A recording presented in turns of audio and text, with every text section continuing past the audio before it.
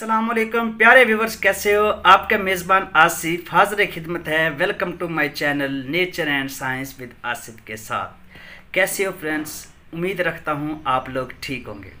अच्छा यार, एक प्रॉब्लम ये आज एक छोटी सी वीडियो में एक और आपको इन्फॉर्मेशन देनी है। कुछ लोग इस तरह से पारा को कायम करते हैं, इस तरह की अक्सरें जारी करते हैं, इस तरह की मोम बनाते हैं। इस तरह की अक्सर बनाते हैं कि तांबे का रंग और सोने का रंग बहुत ज़्यादा शौक होता है। ठीक हो गया। या कुछ ऐसी दवाइयाँ बना लेते हैं कि सोना तो बन जाता है मगर उसका रंग शौक नहीं होता। तो कुछ लोग ऐसा शौक बनाते हैं कि हमें तुखम देना पड़ता है, उसके रंग को कम करने के लिए इतनी अक्सर अज़म भी दवाइयाँ पड़ी हैं। लेकिन कुछ लोग जो है वो चीज़ों को जारी कर लेते हैं, बात पॉइंट की करने लगा हूँ।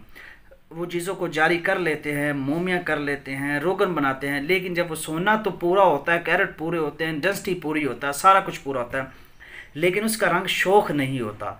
तो उसको शौक करने के लिए मैं आप लोग के साथ एक अक्सर शेयर कर रहा हूँ। बहुत ही नायाब और छोटी सी है। शॉर्ट सी वीडियो में मैंने कहा ये आप लोग को वजाहत कर दूँ इसकी, कि ऐसा कौन सा रोगन है जिसको हम तैयार करके कम जो रंग सोना है, जो कम शौक सोना है, उसको हम शौक सोने में बदल दें। ऐसा कौन सा रोगा है और उस रोगन है और उसका क्या तरीक़ेकार है? ये मैं आज आप लोगों के साथ शेयर कर रहा हूँ। इससे पहले अगर आपने अपने भाई के चैनल को सब्सक्राइब नहीं किया तो सब्सक्राइब कर लें, बेल आइकन को प्रेस कर लें, ताकि इस तरह की छोटी छोटी इन्फॉर्मेशन आप लोगों को मिलती रहे। ये अक्सर का और कीमियागरी का प्यारे व्यूवर्स हिस्सा होती हैं, इसको जानना भी ज़रूरी होता है।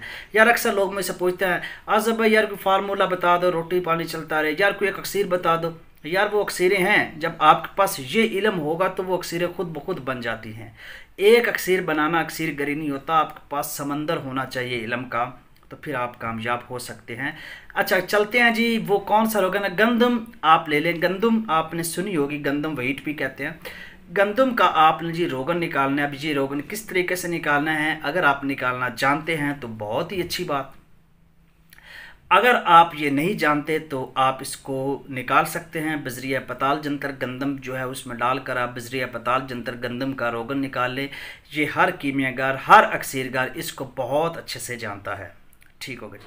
अब आपने वो सोने को कोठाली में डालकर चरख देकर गंदम के रोगन में, जो गंदम है, इसके रोगन में, इसके आयल में आपने बुझावा देना है। ठीक है? तो बुझावा देने से अब ये एक बार नहीं, कुछ छः सात बार आप बुझावा दे, ये नहीं जेन में रखना कि जी हमारा सोना कम हो जाएगा, ज़ाया हो जाएगा, ऐसा कोई सीन नहीं।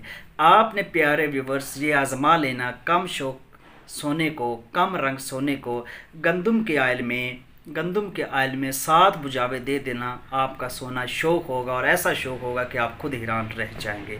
ये एक बहुत ही नायाब इन्फॉर्मेशन थी जो मैंने मुनासिब समझा आप लोगों के साथ शेयर कर दूँ। आजमा लीजिएगा। तो उम्मीद रखता हूँ आपको ये इन्फॉर्मेशन अच्छी लगी होगी। मिलते हैं नेक्स्ट वीडियो में एक नई अक्सर के साथ। तब तक के लिए अपने मेज़बान को इजाज़त दीजिए। Take care